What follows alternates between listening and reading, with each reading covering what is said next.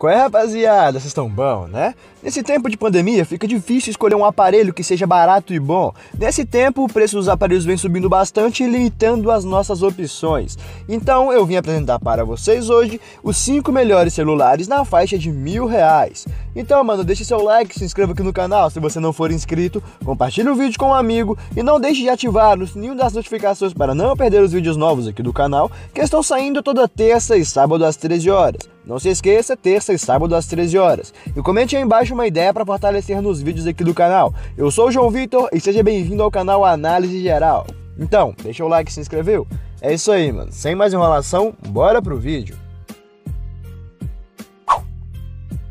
Vamos começar a nossa lista de hoje falando do LG K50S, que vem com seu preço médio na faixa dos 900 reais. Ele vem atualizado com Android 9 e tem um ótimo processador de 2.0 GHz. Seu chipset é o Helio P22 MediaTek, que é muito encontrado em aparelhos nessa faixa de preço. Ele vem possuindo 3 GB de memória RAM e 32 GB de memória interna, e é expansível com cartão de memória em até 2 TB. Sua tela possui 6.5 polegadas com uma resolução HD de 720p, vindo com um note em gota e mais uma proteção extra na tela. Ele vem possuindo três câmeras traseiras, 13, 5 e 2 megapixels com uma frontal de 13, tanto a traseira quanto a frontal gravando vídeos em Full HD. Sua entrada para carregamento é do tipo USB-C e ele tem uma ótima bateria de 4.000 mAh.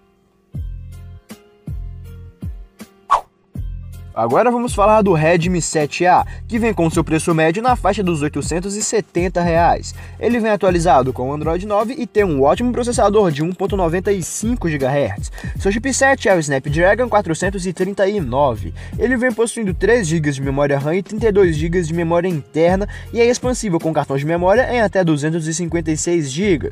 Sua tela possui 5.45 polegadas com uma resolução HD de 720p e não possui note. O 7A vem apenas com uma câmera traseira de 13 megapixels e uma frontal de 5, a traseira gravando em Full HD e a frontal em HD. Sua entrada para carregamento é do tipo micro USB e ele vem com uma ótima bateria de 4.000 mAh.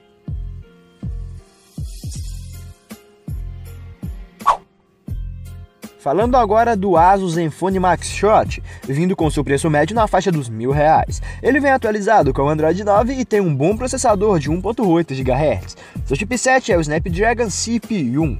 Ele vem possuindo 3 GB de memória RAM com 32 GB de memória interna e é expansível com cartão de memória em até 2 TB.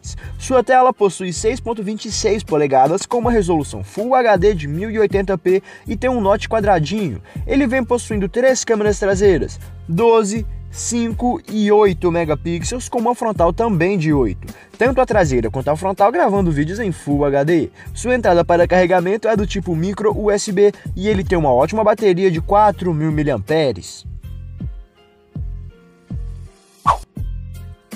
Dando sequência, vamos falar agora do Moto G8 Play, que tem o seu preço médio na faixa dos R$ 1.050. Ele vem atualizado com Android 9 e tem um ótimo processador de 2.0 GHz. Seu chipset é o Helio P70 MediaTek. Ele vem possuindo 2 GB de memória RAM e 32 GB de memória interna e é expansível com cartão de memória em até 512 GB.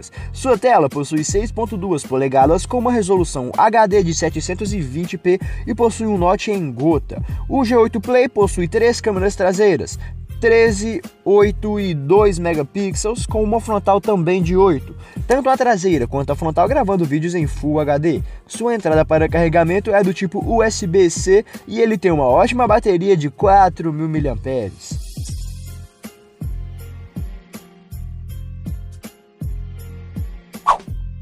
Vamos finalizar o vídeo de hoje falando do Samsung Galaxy A11, vindo com seu preço médio na faixa dos R$ 1.100. Ele vem atualizado com o Android 10 e tem um bom processador de 1.8 GHz. Seu chipset é o Snapdragon 450. Ele vem possuindo 3 GB de memória RAM e 64 GB de memória interna e é expansível com cartão de memória em até 512 GB. O Galaxy A11 tem uma tela de 6.4 polegadas com uma resolução HD de 720p e com um furo na na parte superior esquerda que abre espaço para a câmera frontal. O A11 tem três câmeras traseiras, 13, 5 e 2 megapixels com uma frontal de 8, tanto a traseira quanto a frontal gravando vídeos em Full HD. Sua entrada para carregamento é do tipo USB-C e ele tem uma ótima bateria de 4.000 mAh. Então, meu amigo, o vídeo foi esse, espero que tenha gostado. Se você gostou, mano, deixe seu like, se inscreva aqui no canal. Se você não for inscrito, compartilhe o vídeo com um amigo e não deixe de ativar o sininho das notificações para não perder os vídeos novos aqui do canal, que estão saindo toda terça e sábado às 13 horas. Não se esqueça, terça e sábado às 13 horas. E comenta aí embaixo uma ideia para fortalecer nos vídeos aqui do canal. Então, por hoje é só, aguarde o próximo vídeo, um grande abraço, com Deus e falou!